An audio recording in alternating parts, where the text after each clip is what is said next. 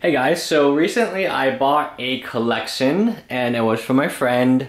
It wasn't a super great deal, so don't yell at me when you don't see the value. Uh, he's quitting Magic and I figured why not? I can probably go for a collection because uh, it's been a while. I spent $450 and this is the majority. I spent about seven hours sorting the cards and this is what I found. Most of the cards um, it was about 60,000 cards, but most of them were not good. So it was obviously picked, it was from a store that bankrupt. And that's that. And normally when stores bankrupt, they don't have really great stuff because the great stuff has already been sold at discount price. So it's whatever remains. This card used to be like a $20 card. It's no longer a $20 card. So it was $450 worth tax, 500 bucks is what I spent. So we got our foundries, we have this. I thought this was kind of cool. I don't know why I put this in. I guess I wanted to add it to the Princess Cube. This is worth a few dollars. Uh, Might of Old Krosa. I only found two of these, which is so weird because he has so much time shift. But again, you know, he's trying to sell cards and he sold what he could and then whatever he couldn't sell remained. Choke. Um, so you can kind of see the card game. Um, this card is worth money actually, uh, Force. And uh, I, I, thought Pride of the Clouds was worth more, but it's worth a few dollars. Coat of Arms. Leave me a comment below if you guys feel like this is a good deal or bad deal. Worship, I have another Worship for 7th edition. Price of Progress is pretty cool. Awaken. Tolarian Winds is like an $8 card. This is the most expensive card in the set. Again, it's not a lot of high value stuff. It is probably stuff that he couldn't sell. And he needed money because, you know, his business just bankrupt. So I was like, okay, fine.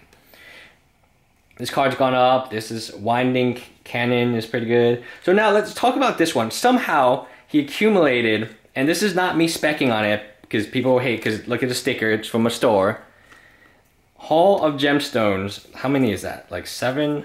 7, 8, 9, 10, 11, 12, 13, 14.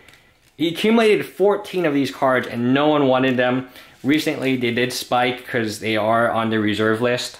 I'm not saying to buy the card, it sucks. I don't actually know what it is good for. I assume it's good against Eldrazi, but Eldrazi is so fast that it'll just beat you down before you can play it. So anyway, I found these, which were amazing. So eight of these visions, uh, near mint. So the good thing about his store is everything is organized and really. Not, this card is worth like ten bucks now. Crazy, but it is, and I'm glad. Another Mox Lotus. I feel like I raffled off one of my Mox and Lotuses. Maybe. This card's worth like ten bucks. Scion's worth five. And then this is where most of the value came from. Actually, Ensnaring Bridge is worth a lot too. It came from these lands that just I mean, honestly, I got in Worship. I didn't. There was no way for me to get to five hundred dollars of retail value unless I hit the lands. And th those lands have gone up from like fifty cents to five dollars now. So it's a huge difference because there's a bunch of them. Ensnaring Bridge is like a forty-five dollar card. Worship is a ten dollar card. Dragon, mm, love this card. I could collect her all day.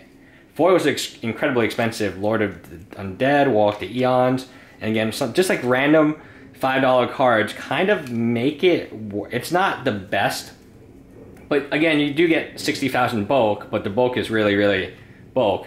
Uh, coat of arms, uh, foundry. I'll actually put the foundry with somewhere else. No, I think that's in the beginning. And this cute little dude, this cute little dude is worth like six bucks.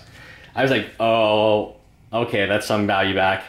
Um, Cultural Exchange is worth some money. Two good, only two Gitaxian Probes. So that was pretty much $500 with tax that cost me, and I did get bulk, but bulk is useless to me. I just donate bulk to high schools or to other local game stores. Uh, bulk, for the most part, is not really worth. Um, I know people will say, "Oh, ship it to me," but like the shipping is more expensive than the cards are, are worth. So anyway, and they're so heavy. It was so heavy.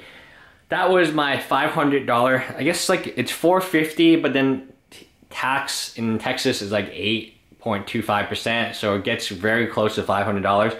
I'm just gonna put it at like $500 because it's so close to it anyway. Um, it's my $500 haul. How do you guys think I did? I know that it's not the most valuable card, money cards, but I calculated the value, at least in retail, there's enough, there's about 500 here in retail, and then there's the bulk, right? The bulk will, um, and I'll show you actually my collection. I'm gonna show you my booster box collection because I think you guys will enjoy it. I booster boxes from all sets, just every single set, from Invasion to uh, Eventide, every pretty much every set, and it would be nice to see my booster boxes. Anyways, that's it, guys. Bye.